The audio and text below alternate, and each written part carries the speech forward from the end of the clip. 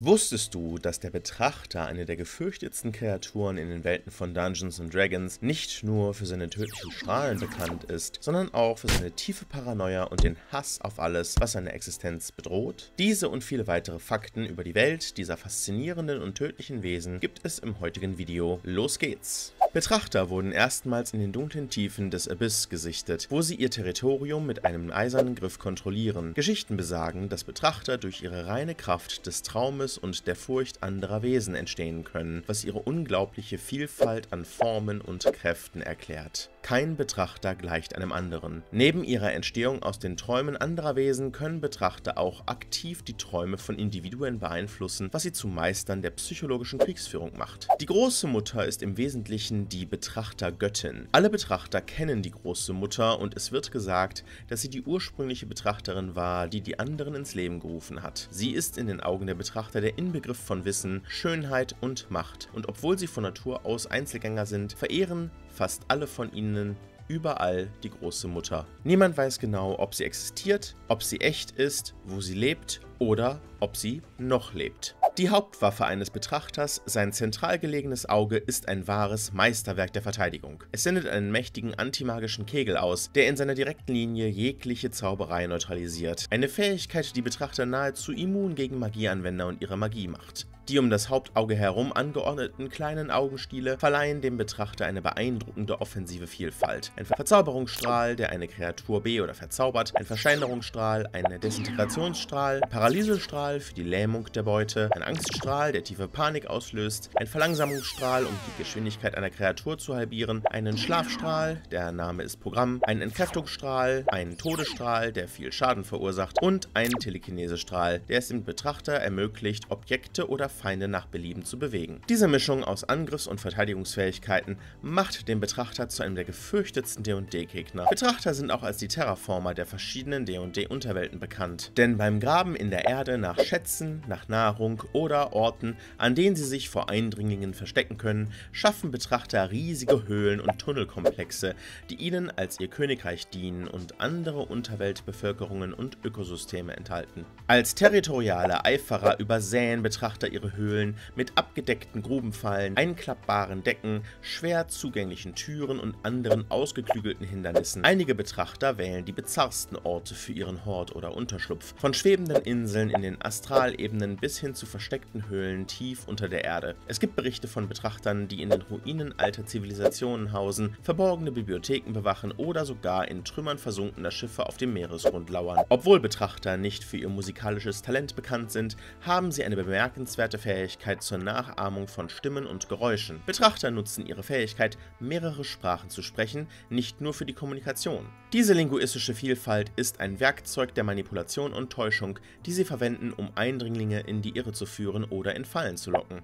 Sie verstehen es meisterhaft, Informationen zu ihren Gunsten zu verdrehen, Lügen glaubhaft zu machen und in Verhandlungen können sie durch Überredungskunst und das Versprechen von Macht oder Schätzen andere Wesen als Spielfiguren in ihren komplexen Plänen einsetzen. Ihre sprachliche Versiertheit ermöglicht es ihnen, Spione, Verräter und sogar Anhänger für ihre Sache zu gewinnen, indem sie Hoffnungen wecken oder Ängste schüren. Betrachter bevorzugen es, allein zu schlafen, eingehüllt in die Sicherheit ihres Horts oder Unterschlupfes, wo sie Fallen und Magie nutzen, um sich vor Eindringlingen zu schützen. Sie schlafen mit einem Auge offen, metaphorisch und bildlich gesprochen, da ihr Hauptauge tatsächlich sich schließt, aber die anderen kleinen Augenstiele wachsam bleiben. Das ist auch notwendig, denn wenn sie nicht aufpassen, so fürchten sie, könnten sie überrascht werden und durch ihre Träume einen anderen Betrachter erschaffen, der sie direkt in einen Kampf verwickeln würde. In ihren unzähligen Jahren der Existenz sammeln Betrachter Schätze und Artefakte, stehlen sie von anderen, die es wagen, ihr Territorium zu betreten. Diese Sammlungen bestehen oft aus mächtigen magischen Gegenständen und Relikten, die die Betrachter sowohl als Trophäen als auch als Werkzeuge zur weiteren Absicherung ihrer Macht betrachten. Einer der bemerkenswertesten Betrachter in der Umgebung der Vergessenen Reiche ist Xanathar. Er ist einer der wenigen Betrachter, der mit anderen in interagiert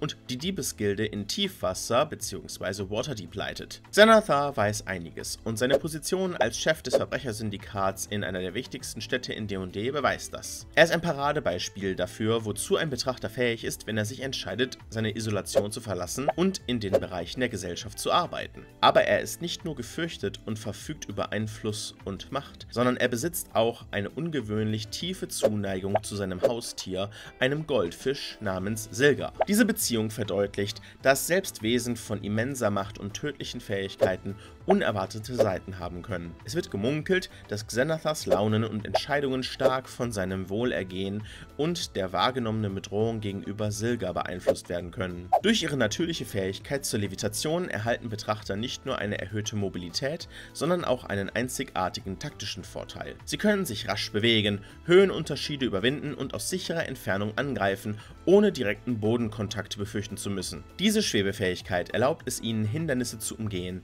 sich dem direkten Angriff zu entziehen und aus verschiedenen Winkeln zu attackieren, was ihre Unberechenbarkeit im Kampf verstärkt. Diese Beweglichkeit, kombiniert mit einer Vielfalt an Angriffsstrahlen, macht sie zu einem Albtraum für jede Abenteuergruppe. Die Präferenz der Betrachter für dunkle Orte ist eine bewusste strategische Entscheidung. Die Dunkelheit dient ihnen als Schleier, die ihre Aktivitäten verbirgt und gleichzeitig eine psychologische Waffe gegen Eindringlinge darstellt. In den Schatten können sie unerkannt lauern, Fallen stellen und ihre Feinde aus dem Hinterhalt angreifen. Die Dunkelheit verstärkt teilweise auch die Wirkung ihrer Strahlen, macht ihren Hort zu einem Labyrinth voller Tücken und verwandelt ihre Anwesenheit in eine ständige, unsichtbare Bedrohung. Mit ihrer außerordentlichen Intelligenz sind Betrachter fähig, komplexe und weitreichende Pläne zu schmieden.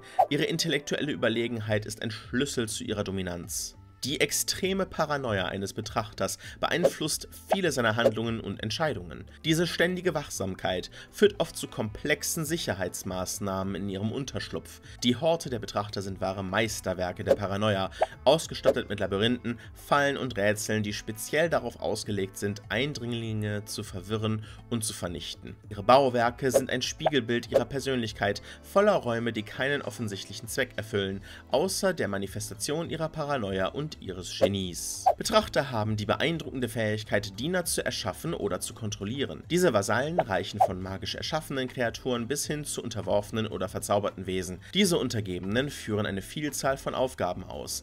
Sie verteidigen den Hort des Betrachters, sammeln Informationen, locken Abenteurer in Fallen oder dienen als zusätzliche Kampfkraft. Die Fähigkeit, ein Netzwerk treuer Vasallen zu unterhalten, gibt Betrachtern strategische Flexibilität und erhöht ihre Reichweite weit über ihr unmittelbares Territorium hinaus. Ihre eigene Schöpfung und Kunst spiegelt die Tiefe ihrer Fremdartigkeit und Komplexität wider, während sie paradoxerweise Werke anderer mit Verachtung betrachten. Betrachter existieren in zahlreichen Abwandlungen, jede mit ihren einzigartigen Fähigkeiten und Merkmalen. Der Beobachter oder Spectator beispielsweise ist eine kleinere, wenigere mächtige Variante, die oft als Wächter für mächtige Artefakte oder Schatzkammern beschworen wird. Im Gegensatz zum klassischen Betrachter, der über 10 Augenstiele verfügt, besitzt der Beobachter oder Spectator nur 4, aber behält die Fähigkeit zur Levitation und besitzt einen ähnlichen Antimagiestrahl wie sein mächtiges Gegenstück. Eine weitere bemerkenswerte Variante ist der Todestyrann, ein Betrachter, der in nekromantischen Energien getränkt wurde und die Fähigkeit besitzt, Untote zu kontrollieren und zu erschaffen. Todestyrannen nutzen ihre dunklen Kräfte, um Armeen von Untoten zu befehligen, was ihnen in Gebieten, wo der Tod allgegenwärtig ist, eine erschreckende Präsenz verleiht. Nicht zu vergessen sind auch die Gauts, kleinere Betrachter, die magische Energie aus Gegenständen und Zaubern saugen können. Obwohl sie nicht die Vielfalt an mächtigen Strahlen ihres größeren Verwandten besitzen, sind die Fähigkeiten, magische Energie zu entziehen und zu speichern nicht zu unterschätzen. Diese Abwandlungen der Betrachterfamilie zeigen die Vielfalt und Anpassungsfähigkeit dieser Wesen. Ob als einsamer Wächter, als Anführer einer untoten Armee oder als Parasit magischer Kräfte oder Anführer eines Verbrechersyndikats. Betrachter und ihre Varianten bieten eine unerschöpfliche Quelle von Herausforderungen und Geschichten für Abenteurer und Dungeon Master gleichermaßen. Wenn du übrigens noch weiteres unnützes Wissen über D&D Monster wissen möchtest, dann lass gerne ein Abo da und seh dir dieses Video als nächstes an.